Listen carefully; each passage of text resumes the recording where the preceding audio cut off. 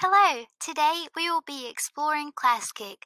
ClassKick is a web app that can be used by teachers to create assignments, provide individual feedback, upload PDFs, and monitor student learning in a face to face or virtual classroom setting.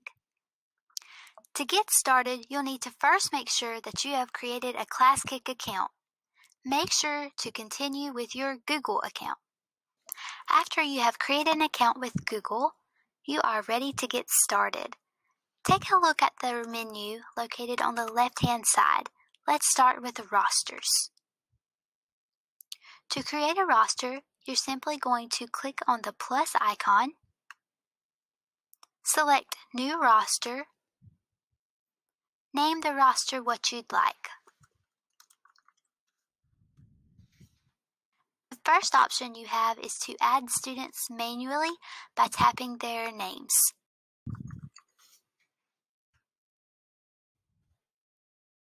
The other option you have is after you have created an assignment, you can choose Assign, and you'll notice that there is a class code on your roster, and there's also a link icon. If you click the link icon, it will allow you to copy the link and you can post that link in Google Classroom so that your students can easily join and type their own name. ClassKick has a variety of tools in the slide taskbar. Familiarize yourself with the taskbar and make your PDFs and digital assignments bump up to the next level. Now that you know how to create a roster, let's get started with creating an assignment. Select Assignments on the menu bar, then select the plus icon in the top right hand corner. You can choose to create a new blank assignment, create an assignment from a file, or you can choose to browse ClassKick's assignment library. We're going to choose a new blank assignment for this purpose. You can name your assignment what you'd like, and you have the option to provide a description. You can also classify your assignment assignment by providing the subject, grade, and telling who has access. So let's say you'd like to add a PDF to get started. You have something that you have previously downloaded on your computer and you are so excited to turn it into a digital activity.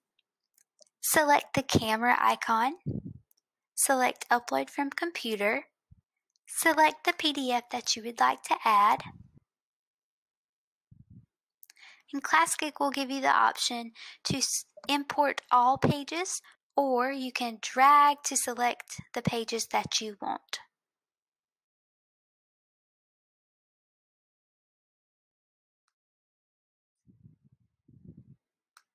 You can choose to add another or you can finish. And there we have it. The PDF has been converted to my ClassKick assignment. Now let's say you'd like to add some fill in the blank. You can choose the dashed box option and you can add an acceptable answer. Maybe you don't have a PDF in mind and you'd like to start from scratch. You can also select the capital T to write your own problems. By selecting the Add Multiple Choice option, I can select a correct answer.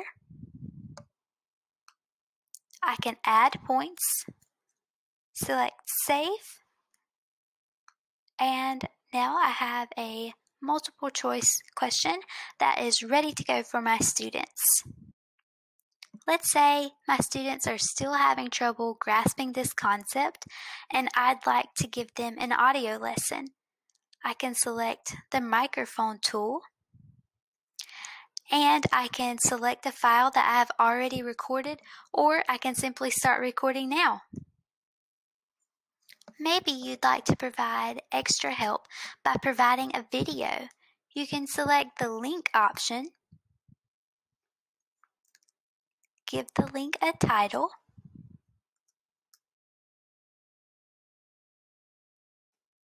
paste your URL, click Save, and now you have an additional tool to help your students be successful. ClassKick may not be perfect to use every day, but it's perfect for giving students a quick formative assessment. For example, a text structure passage, testing a skill, reviewing key concepts, remediating standards where students need direct feedback, or even creating digital worksheets from a PDF. Thank you so much for joining us today. I hope that you have enjoyed the ClassKick tutorial and I look forward to hearing how you're able to use it with your students. Don't forget to like the video and hit the subscribe button. Have a wonderful day.